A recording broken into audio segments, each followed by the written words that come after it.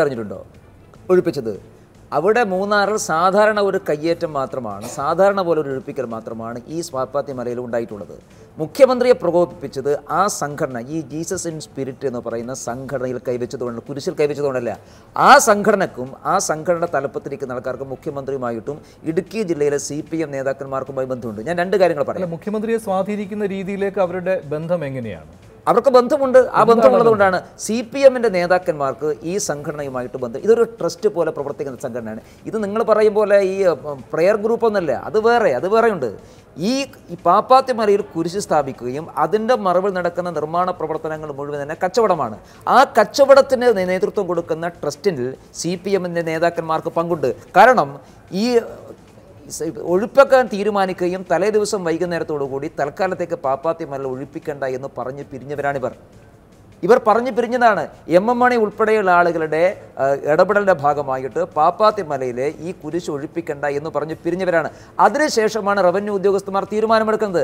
ആ തീരുമാനമാണ് ചോർത്തി കൊടുത്തിട്ടുള്ളത് ആളുകൾ ആരാ സംഘടിപ്പിച്ചത്? സി പി എം സംഘടിപ്പിച്ച ആളുകളാണ്.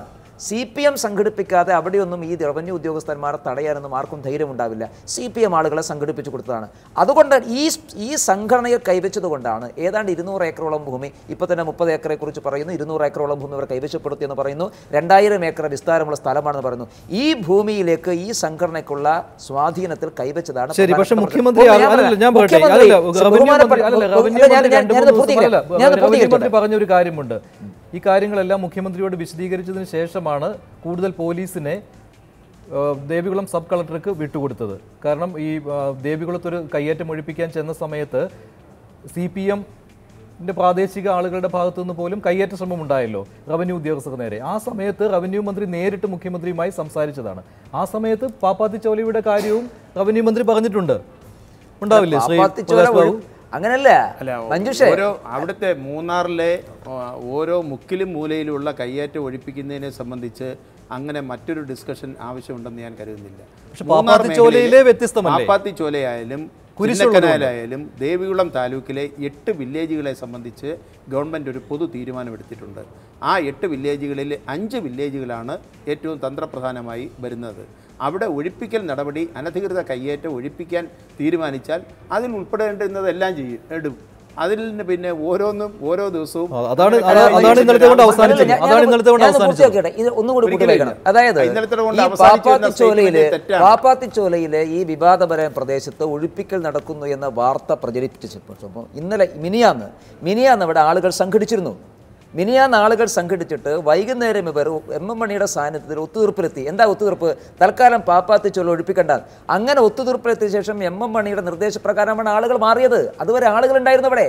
ആളുകൾ ദാ പാപ്പാത്തി പള്ളിയിലേക്ക് റവന്യൂ ഉദ്യോഗസ്ഥന്മാരൊന്നും വരുന്നില്ല എന്നുള്ള എം എം മണിയുടെ നിർദ്ദേശം കിട്ടിയ ശേഷം ആളുകൾ ഒഴിവാകാണ്. അതിനുശേഷമാണ് ഒരു റിസ്ക് എടുക്കാൻ റവന്യൂ ഉദ്യോഗസ്ഥന്മാർ തീരുമാനിച്ചിട്ടുണ്ടാവുക. ആ ഉദ്യോഗസ്ഥന്മാരെ ശ്ലാഘിക്കേണ്ടതാണ്. അവർ റിസ്ക് എടുത്തു പോയി. കയ്യിൽ കിട്ടിയ ആളുകളെ വെച്ചാൽ പിന്നെ തടയാൻ പറ്റുള്ളൂ നൂറുകണക്കിന് ആളുകൾ നേരത്തെ ഉണ്ടായിരുന്ന ഒഴിവായി പോയതാണ് അതുകൊണ്ടാണ് ഞാൻ പറഞ്ഞത് ഈ സംഘടന ബന്ധമുണ്ട്. ഞാനത് ഒരു കാര്യം കൂടി സൂചിപ്പിക്കാൻ കാരണം ബഹുമാനപ്പെട്ട മുഖ്യമന്ത്രി നാം ഇന്നും ഇന്നലെയും കാണുന്നില്ല. ഒരു കയ്യേറ്റ ഭൂമിയിൽ ഒരു കുരിശ് കണ്ടു.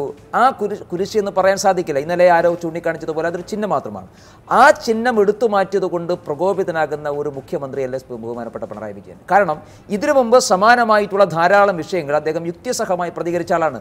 നമുക്ക് ഓർമ്മയുള്ള കേരളത്തിലെ ഒരു പ്രത്യേക മതവിഭാഗത്തിന്റെ ആരാധനാലയങ്ങളിൽ തിരികേശം വെച്ചു എന്ന് പറഞ്ഞപ്പോൾ ആ തിരികേശം ബോഡി വേസ്റ്റ് ആണെന്ന് പരസ്യമായിട്ട് അഭിപ്രായം പറയാൻ ധൈര്യം കാണിച്ച വ്യക്തിയാണ് പിണറായി വിജയൻ എന്ന കേരളത്തിന്റെ മുഖ്യമന്ത്രി. അപ്പോൾ അദ്ദേഹം അങ്ങനെ മതചിഹ്നങ്ങളോടോ മതപരമായ കാര്യങ്ങളോടോ യുക്തിസഹമല്ലാതെ പെരുമാറുന്ന ആളല്ല. അപ്പോൾ കുരിശിനോടുള്ള പ്രേമമല്ല അങ്ങനെയുള്ള മുഖ്യമന്ത്രി തിരികേശത്തെ ബോഡി വേസ്റ്റ് പ്രഖ്യാപിച്ച മുഖ്യമന്ത്രിക്ക് ഇത് പറയാൻ മടിയൊന്നുമില്ല. അത് കുരിശല്ല മുഖ്യമന്ത്രിയുടെ അഭിപ്രായം മുഖ്യമന്ത്രിയുടെ അഭിപ്രായം അത് അദ്ദേഹം തുറന്നു പറഞ്ഞു. എൽ ഡി എഫ് യോഗത്തിലും പറഞ്ഞു എന്ന് താങ്കൾ പറയുകയുണ്ടായി അല്ലോ മുഖ്യമന്ത്രി എന്തുകൊണ്ട് ഇങ്ങനെ ഒരു അഭിപ്രായത്തിലേക്ക് വന്നു? മുഖ്യമന്ത്രിക്ക് ഈ സ്പിരിറ്റ് ഇൻ ജീസസ് എന്ന സംഘടനയുമായി എന്ത് ബന്ധം? സി പി എമ്മിന് എന്ത് ബന്ധം? ഇത്തരത്തിലുള്ള സംശയങ്ങൾ ഉടലെടുക്കും. കാരണം സി പി ഐ വ്യത്യസ്തമായ ഒരു നിലപാടാണ് സ്വീകരിക്കുന്നത്. ഇപ്പോഴും ആ നിലപാടിൽ ഒരു മാറ്റവും സി പി ഐ വരുത്തിയിട്ടില്ല. താങ്കളുടെ വാക്കുകൾ അത് വ്യക്തമായ സൂചന നൽകുന്നു. കാനത്തിന്റെ വാക്കുകളും അങ്ങനെ തന്നെയാണ് സൂചിപ്പിക്കുന്നത്. അല്ല ഞാൻ അതിൽ ഒരു കാര്യം വ്യക്തമാക്കാൻ ആഗ്രഹിക്കുന്നത്. സി പി ഐ മാത്രമായി ഒരു പ്രത്യേക നിലപാട് എടുത്തതല്ല സി പി ഐ എടുത്തിട്ടുള്ള നിലപാട് എൽ ഡി എഫിന്റെ നിലപാടാണ്. സി പി ഐ എടുത്തിട്ടുള്ള നിലപാട് ഈ ഗവൺമെന്റിന്റെ നിലപാടാണ്. ആ നിലപാട് അനുസരിച്ച് റവന്യൂ വകുപ്പ് പ്രവർത്തിക്കുന്നു. റവന്യൂ വകുപ്പിലെ ഉദ്യോഗസ്ഥന്മാർ അതിന്റെ നിയമപരമായിട്ടുള്ള നടപടികൾ പാലിച്ചുകൊണ്ട് അത് ഇംപ്ലിമെന്റ് ചെയ്യുന്നതിന് വേണ്ടി പോകുന്നു എന്നുള്ളതിൽ കവിഞ്ഞ് ഞങ്ങൾ മാത്രമായി ഒരു പ്രത്യേക നിലപാടെടുത്തതല്ല. എൽ ഡി എഫ് ഗവൺമെന്റിന്റെ കേരള ഗവൺമെന്റിന്റെ നിലപാടാണ് അവിടെ റവന്യൂ ഉദ്യോഗസ്ഥന്മാർ നടപ്പിലാക്കുന്നത് എന്നുള്ളതാണ് എനിക്ക് ആദ്യത്തെ കാര്യത്തിൽ പറയാനുള്ളത്. പിന്നെ മുഖ്യമന്ത്രി അങ്ങനെ പറഞ്ഞു. അത് സ്വാഭാവികമായിട്ടും ഞാൻ അതിൽ കാണുന്നത് ഒന്നേ ഉള്ളൂ. അത് മുഖ്യമന്ത്രി സംസ്ഥാന ഗവൺമെന്റിനെ നയിക്കുന്ന അധിപനാണെങ്കിലും അതേസമയം ഒരു രാഷ്ട്രീയ പാർട്ടിയുടെ വക്താവ് കൂടിയാണ്. ആ പാർട്ടിയുടെ ചില ആളുകളൊക്കെ പറഞ്ഞ അഭിപ്രായങ്ങൾ അദ്ദേഹത്തിന്റെ മനസ്സിൽ കാണും. അതുകൂടി വെച്ചുകൊണ്ട് ഇടതുപക്ഷ മുന്നണിയുടെ ഒരു പൊതു അഭിപ്രായവും അദ്ദേഹം കൂട്ടത്തിൽ പറഞ്ഞു. കാരണം പള്ളി പൊളിക്കലും കുരിശ് പൊളിക്കലും ഒന്നുമല്ല എൽ ഡി എഫിന്റെ പോളിസി എന്നുള്ളത് വ്യക്തമാക്കാൻ വേണ്ടി അദ്ദേഹം പറഞ്ഞു എന്ന് മാത്രമേ ഉള്ളൂ. അതുകൊണ്ട് മുഖ്യമന്ത്രി പറഞ്ഞ ആ വാക്കിനെ അടർത്തിയെടുത്ത് എൽ ഡി എഫിന്റെ നയമല്ല എന്നുള്ള നിലയിലേക്ക് പറയേണ്ടുന്ന കാര്യം വരുന്നില്ല. അവിടെ എൽ ഡി എഫിന്റെ നിലപാടാണ് നടപ്പിലാക്കിയത് ഗവൺമെന്റിന്റെ നിലപാടാണ് നടപ്പിലാക്കിയത്. അത് ഒരു അപാകത Shri S Rajendran M L A Shri Prakash ബാബുവാണ് സംസാരിച്ചത്. കയ്യേറ്റങ്ങൾ ഒരു തരത്തിലും അനുവദിക്കില്ല എന്നാണ് ഇന്നത്തെ ഉന്നതതല യോഗത്തിൽ തീരുമാനം. എന്നാൽ ഒഴിപ്പിക്കുന്നതിന് മുൻപ് അവർക്ക് നോട്ടീസ് നൽകുകയും അവരുടെ ഭാഗം കേൾക്കുകയും വേണം. ഇതെല്ലാം ഈ പാപ്പാത്തിച്ചോലയുടെ കാര്യത്തിലും സംഭവിച്ചത് തന്നെയല്ലേ? നോട്ടീസ് കേട്ടു അവരുടെ ഭാഗം കേട്ടു. വിശദീകരണം തൃപ്തികരമല്ലെങ്കിൽ ഒഴിപ്പിക്കൽ നടപടിയുമായി മുന്നോട്ട് പോകാം. ഇത് തന്നെയല്ലേ റവന്യൂ ഉദ്യോഗസ്ഥർ അവിടെ ചെയ്തത്. വൻകിട കയ്യേറ്റങ്ങൾ ഒഴിപ്പിക്കുന്നതിനാവണം മുൻഗണന. ഇത് തന്നെയല്ലേ ടോം സക്കറിയയുടെ കയ്യേറ്റം ഒഴിപ്പിക്കുന്ന കാര്യത്തിൽ റവന്യൂ ഉദ്യോഗസ്ഥർ സ്വീകരിച്ചത്. പത്ത് സെന്റ് വരെയൊക്കെ ഭൂമിയുള്ളവരും വേറെ ഭൂമി ഇല്ലാത്തവരുമായവരുടെ കാര്യത്തിൽ കയ്യേറ്റമാണെങ്കിൽ പോലും പ്രത്യേക പരിഗണന നൽകണം. ഇതും അവിടെ റവന്യൂ ഉദ്യോഗസ്ഥർ നൽകിയിട്ടുള്ളതാണല്ലോ. പിന്നെ പുതിയ ഒരു തീരുമാനം എന്ന രീതിയിൽ ഇന്ന് പുറത്തു വരികയാണ് മുഖ്യമന്ത്രിയുടെ ഓഫീസിൽ നിന്ന് ഈ കാര്യങ്ങളെല്ലാം. ഇതെല്ലാം ഇന്നലെ പാപ്പാത്തി ചോലയിലും റവന്യൂ ഉദ്യോഗസ്ഥർ ചെയ്തതാണ്. അതുമാത്രം തെറ്റെന്ന് പറയുന്നു ഇപ്പോഴും മുഖ്യമന്ത്രിയും സി പി എമ്മും. സി പി ഐക്ക് വ്യത്യസ്ത നിലപാടാണ്. ഇവിടെ ഒരു ഏഹ്, നിലപാട് ഉണ്ടെന്ന് ഞാൻ കരുതുന്നില്ല. ഒറ്റ നിലപാടേ മുന്നണി ഗവൺമെന്റിന് ഉണ്ടാകാറുള്ളൂ. അത് കൂട്ട ഒരു കൂട്ട് ഭരണം എന്നുള്ള നിലയ്ക്ക് മുന്നണി ഭരണം എന്നുള്ള നിലയ്ക്ക്. ഇവിടെ ഒരു വിഷയമേ ഉള്ളൂ. കയ്യേറ്റത്തെ സംബന്ധിച്ച് കയ്യേറ്റം ഒളിപ്പിക്കുന്ന കാര്യത്തിൽ ഒരു തർക്കവും വേണ്ട. ആ രൂപത്തിൽ നിലപാട് സ്വീകരിക്കും നടപാട് സ്വീകരിക്കണം എന്നുള്ള കാര്യത്തിൽ അഭിപ്രായ വ്യത്യാസമില്ല.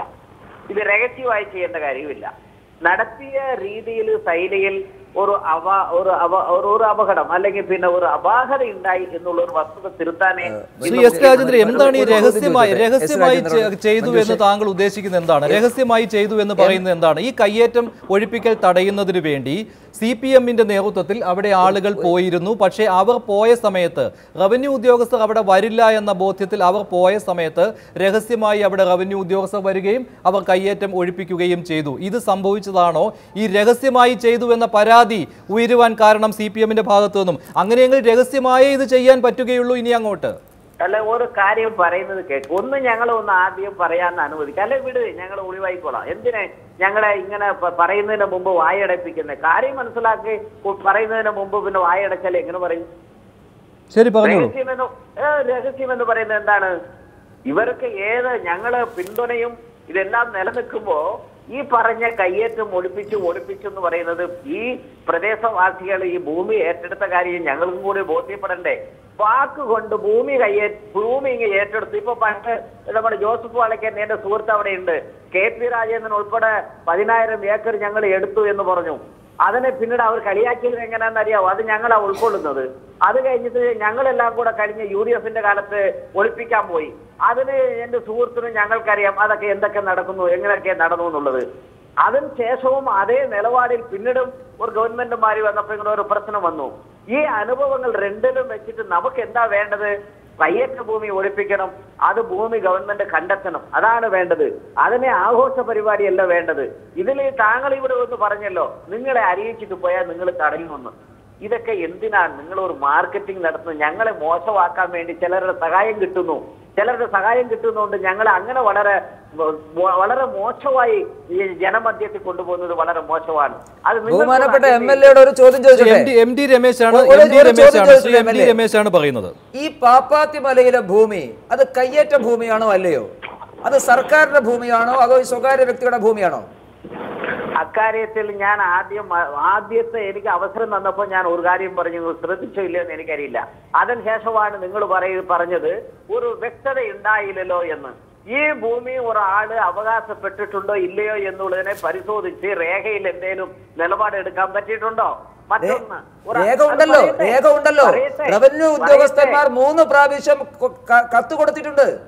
ഇവരെ കൈവശമുള്ള ഭൂമിയാണെങ്കിൽ മറുപടി കൊടുക്കണ്ടേ എം എൽ എ? താങ്കളുടെ പറയട്ടെ. ജനപ്രതിനിധിയല്ലേ ഒരു റവന്യൂ ഉദ്യോഗസ്ഥന്മാർ ഒരു ഭൂമി നിങ്ങളുടേതല്ല സർക്കാർ ഭൂമിയാണ് കയ്യേറെ ഭൂമിയാണ്. നിങ്ങൾ ഒഴിപ്പിക്കണമെന്ന് എനിക്ക് റവന്യൂ ഉദ്യോഗസ്ഥന്മാർ ഒരു ഒരു നോട്ടീസ് തന്നാൽ ഞാൻ ആദ്യം ചെയ്യുക ഈ ഭൂമിയുടെ ഉടമസ്ഥാവകാശം ഞാനാണ് എന്ന് രേഖപ്പെടുത്തുന്ന ഒരു ഒരു രേഖ ഹാജരാക്കലാണ്. അതല്ലേ ചെയ്യേണ്ടത്? എം എൽ എക്ക് അതറിയില്ലേ അങ്ങനെ ഈ പാപ്പാത്തിമുള്ള ആൾക്കാർ അങ്ങനെ ഹാജരാക്കിയിട്ടുണ്ടെങ്കിൽ നമുക്ക് വിഡ്രോ ചെയ്യാം. ഈ ഭൂമി അവരുടേതാണ്. നമ്മൾ അവരുടെ കൂടെ നിൽക്കണം. ഇത് പറയട്ടെ പറയാൻ ഇവിടെ ചുമ്മാ നിങ്ങളെ മേത്തേക്ക് കയറിയിട്ട് വല്ല കാര്യമുണ്ടോ? അപ്പോ അയാളുടെ അവകാശത്തിൽപ്പെട്ട ഭൂമി അല്ലെങ്കിൽ പിന്നെ അയാൾ എന്തിനാ മറുപടി പറയാൻ പോകുന്നത്? അങ്ങനെ അയാളുടെ അവകാശത്തിൽ ഇല്ലാത്ത ഒരു സ്ഥലം സർക്കാർ വക സ്ഥലമാണ് എന്ന് നിങ്ങൾ പറയുകയും കയ്യേരി എന്ന് പറയുന്നതും പിന്നെ വീണ്ടും സർക്കാർ വക ഭൂമിയാണെന്ന് പറയുന്നതും അയാളുടെ കൈയടക്കാതെ അല്ലെങ്കിൽ കയ്യേറാതിരിക്കുന്ന സ്ഥലത്തിനും നോട്ടീസ് കൊടുത്തതിന് എന്തൊക്കെയാണ് ബന്ധങ്ങളുള്ളത്? എന്തൊക്കെയാണ് നിങ്ങൾ ബോധ്യപ്പെടുത്താൻ ശ്രമിക്കുന്നത്? ഞാൻ പറഞ്ഞത് ഇത്രയേ ഉള്ളൂ. ഇല്ലാത്ത ഭൂമി അവരുടെ പേരിൽ ഉണ്ട് എന്ന് സ്ഥാപിച്ച് അല്ലെങ്കിൽ പിന്നെ കയ്യേറ്റം ഇല്ലാത്ത സ്ഥലം അവരുടെ കയ്യേരി എന്ന് സ്ഥാപിച്ച് അതിന്റെ പേരിൽ പുകമര സൃഷ്ടിക്കുക. അതാണ് ഞാൻ പറഞ്ഞത്. നിങ്ങൾ രഹസ്യമായി എന്ത് പണിയാ കാണിക്കുന്നത്? അതിന്റെ കാര്യമില്ല. അവർക്ക് സ്ഥലമില്ലെങ്കിൽ പിന്നെന്തിനാണ് അവർ നോട്ടീസിന് മറുപടി തരാൻ പോകുന്നത്? അവർക്ക് ഉണ്ടായിട്ട് വേണ്ടേ? അല്ലെങ്കിൽ അവർക്ക് ഇല്ല നിങ്ങൾ പറയേണ്ടതുണ്ടോ? അങ്ങനെ ഒരാളെ കുറ്റക്കാരനാണ് എന്ന് കണ്ടെത്താൻ എന്തെങ്കിലും നമ്മുടെ ഭാഗത്തെ രേഖയുണ്ടോ? ശരി ശ്രീ എസ് രാജേന്ദ്രൻ. എല്ലാം മനസ്സിലായി. അതായത്. റവന്യൂ അല്ലല്ല അല്ല എസ് രാജേന്ദ്രൻ പറഞ്ഞത് ഒന്നേ ഉള്ളൂ. അതായത് റവന്യൂ ഉദ്യോഗസ്ഥരുടെ ഭാഗത്തു നിന്നാണ് വീഴ്ച പറ്റിയത്. ഈ പറയുന്ന ടോം സക്രിയും കൂട്ടരുമൊന്നും കയ്യേറ്റക്കാരേ അല്ല. ശ്രീ പ്രകാശ് ബാബു താങ്കളാണ് മറുപടി പറയേണ്ടത്. താങ്കൾ പറഞ്ഞു പറഞ്ഞുവല്ലോ സർക്കാർ ഇതെല്ലാ നടപടികളും ഉണ്ടായത് എന്തായാലും അനധികൃതമായ കയ്യേറ്റം എന്ന് കണ്ട് റവന്യൂ വകുപ്പിലെ ഉദ്യോഗസ്ഥന്മാർ അവർക്ക് നിയമപ്രകാരമുള്ള നോട്ടീസ് കൊടുക്കുകയും ആ നോട്ടീസ് കൈപ്പറ്റിയതിന് ശേഷം തിരിച്ച് വക്കീൽ നോട്ടീസ് കൊടുക്കുകയും ചെയ്തതിന് ശേഷമാണല്ലോ ഈ സംഭവവാസങ്ങളെല്ലാം ഉണ്ടായത്. അത് ഗവൺമെന്റിനെ ഗവൺമെന്റിന്റെ ഭൂമി തിരിച്ചെടുക്കാനുള്ള നടപടി അവർ ഇന്നലെ ചെയ്തു. അത് പൂർത്തിയാക്കി. ഇനിയും തുടർന്നു ആ നടപടികളുമായി ഗവൺമെന്റ് മുന്നോട്ട് പോവുകയും ചെയ്യും. അവിടെ മാത്രമല്ല ഈ പറഞ്ഞ അഞ്ച് വില്ലേജുകളിലും അനധികൃതമായി ഗവൺമെന്റ് ഭൂമി കയ്യേറിയിട്ടുള്ളത് ഒഴിപ്പിച്ചെടുക്കുക എന്നുള്ളത് ഗവൺമെന്റിന്റെ നിലപാടാണ് നയമാണ്. ആ നിലപാട് ഇടപെട്ട് പറഞ്ഞോട്ടെ. പക്ഷേ ഇന്നത്തെ അല്ലല്ല ഇന്നത്തെ യോഗത്തിലെടുത്ത തീരുമാനങ്ങളിൽ ഒന്ന്. ഞാൻ നേരത്തെ തന്നെ പറഞ്ഞതാണ് മന്ത്രി എം എം മണിയെ കൂടി വിശ്വാസത്തിലെടുക്കത്തായിരിക്കണം. അദ്ദേഹത്തോടും കൂടി ആലോചിച്ച ശേഷമായിരിക്കണമെന്ന്. ജനപ്രതിനിധികൾ എന്ന് പറയുമ്പോൾ ദേവികുളം എം എൽ എ അക്കൂട്ടത്തിൽ വരികയും ചെയ്യുകയും ഇപ്പോൾ സംസാരിച്ച എം എൽ എ. അപ്പോൾ ഇവരുടെ എല്ലാ അഭിപ്രായം പരിഗണിച്ച് ഇനി അങ്ങോട്ട് മുന്നോട്ട് പോകാൻ കഴിയുകയുള്ളൂ. അവിടെ താങ്കളുടെ വാദം പൊളിഞ്ഞിരിക്കുകയാണ്. അതാണ് ഞാൻ നേരത്തെ പറഞ്ഞത്. കയ്യേറ്റം ഒഴിപ്പിക്കലിന്റെ ഭാവി അടഞ്ഞിരിക്കുകയാണ്. എസ് രാജേന്ദ്രൻ എം എൽ എയും മന്ത്രി എം എം മണിയും പറയുന്നത് പോലെ ഇനി കാര്യങ്ങളുള്ളൂ. അവർ പോലും പറയുകയാണ് ഈ പാപ്പാത്തി ചോലയിലെ കയ്യേറ്റം പോലും അത് കയ്യേറ്റമാണെന്ന് പറയാൻ കഴിയില്ല എന്ന്. മുഖ്യമന്ത്രി ഇന്നത്തെ യോഗത്തിൽ പറഞ്ഞത് അതൊരു പൊതു അഭിപ്രായമാണ്. ജനപ്രതിനിധികളെ വിശ്വാസത്തിലെടുക്കണമെന്നുള്ള ഒരു മുഖ്യമന്ത്രിയുടെ അഭിപ്രായം.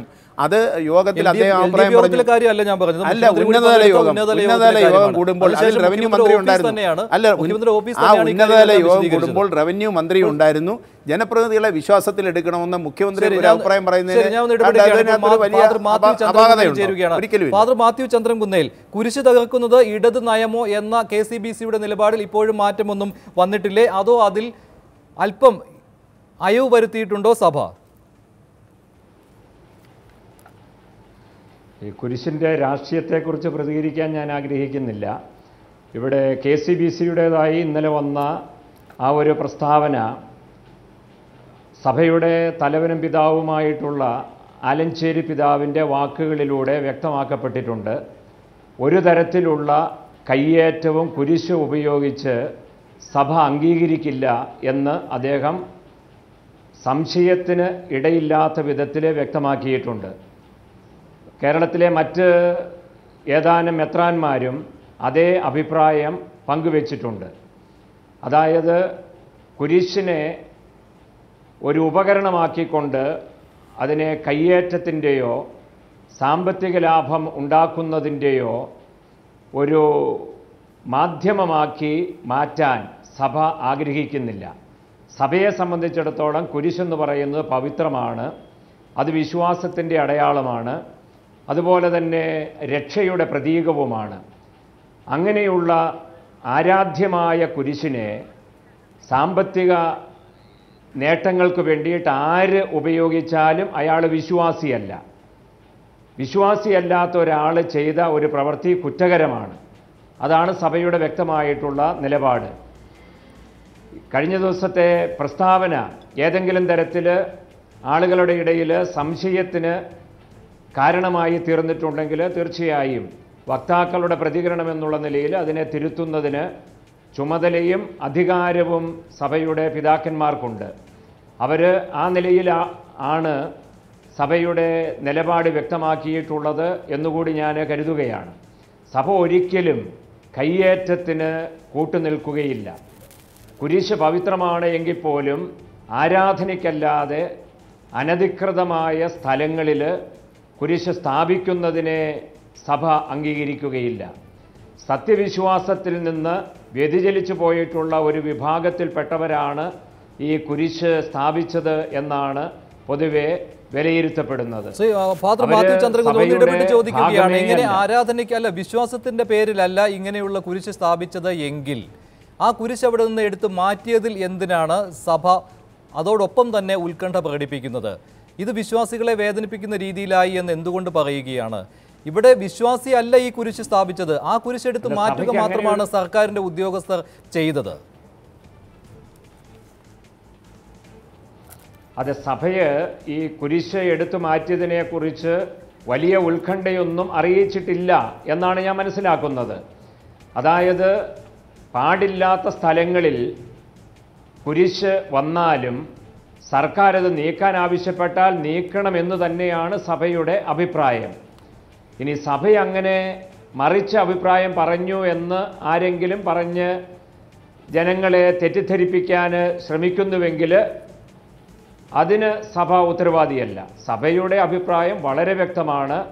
ഒരു കാരണവശാലും അധിനിവേശത്തിന് വേണ്ടിയോ ഭൂമി സ്വന്തമാക്കാൻ വേണ്ടിയോ ലാഭമുണ്ടാക്കാൻ വേണ്ടിയോ കുരിശ് ഉപയോഗിക്കാൻ പാടില്ല എന്നുള്ളത് അങ്ങനെയാണെങ്കിൽ. കെ സി ബി സിയുടെ ഇന്നലത്തെ ആദ്യത്തെ പ്രസ്താവന അത് മുഖ്യമന്ത്രിയുടെ പ്രസ്താവന വന്നതിന് ശേഷമാണ്. മുഖ്യമന്ത്രിയുടെ പ്രസ്താവന വന്നതിന് ശേഷം കെ സി ബി സി നടത്തിയ പ്രസ്താവന അതിനോട് സീറോ മലബാർ സഭ അനുകൂലിക്കുന്നില്ല. ബാബറി മസ്ജിദ് തകർത്ത സംഭവത്തെ ഓർമ്മപ്പെടുത്തുന്ന രീതിയിൽ കേരളീയ സമൂഹത്തിൽ അസ്വസ്ഥതയുണ്ടാക്കുന്ന ഇത്തരം പ്രവർത്തനങ്ങൾ ഒഴിവാക്കേണ്ടതായിരുന്നു എന്നാണ് കെ സി ബി സിയുടെ വക്താവ് ഇന്നലെ പറഞ്ഞത്. അതിനോട് എന്തായാലും സീറോ മലബാർ സഭ യോജിക്കുന്നില്ല എന്ന് തന്നെ താങ്കളുടെ വാക്കുകളിൽ നിന്ന് വ്യക്തമാവുകയാണ്. അങ്ങനെ വിശ്വസിച്ചോട്ടെ ഫാദർ മാത്യു ചന്ദ്രൻ കുന്നേൽ തീർച്ചയായിട്ടും തീർച്ചയായിട്ടും. സമയമില്ല അതുകൊണ്ടാണ്. മുന്നിൽ മുട്ടുമടക്കിയ മുഖ്യമന്ത്രിയെ തിരുത്താൻ ഇനി സി പി ഐക്ക് കഴിയുമോ? ഇടവേളയ്ക്ക് ശേഷം.